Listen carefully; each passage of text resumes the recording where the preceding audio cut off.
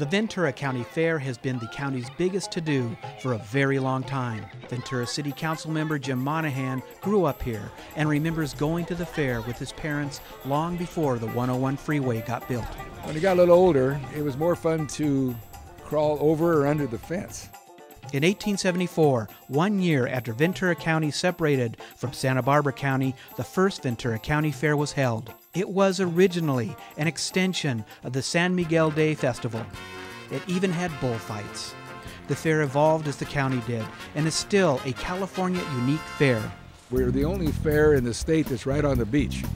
We've got surfing, we've got windsurfing, we've got you know, anything you could find at any major fair in Sacramento or Los Angeles, Orange County, we have it here, but in a smaller version.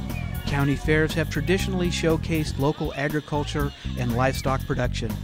At many county fairs, this aspect slowly declined, but Ventura County still has an agricultural economic base.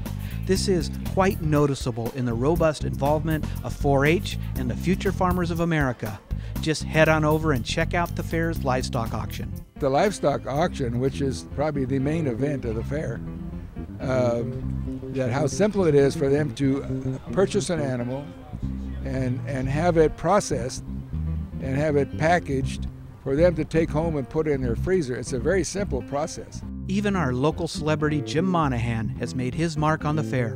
While I was mayor, I won the lemon pie making contest here.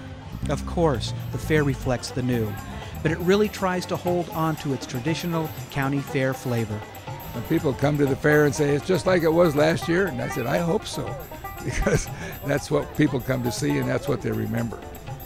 That ride looks interesting. I'm Phil Taggart.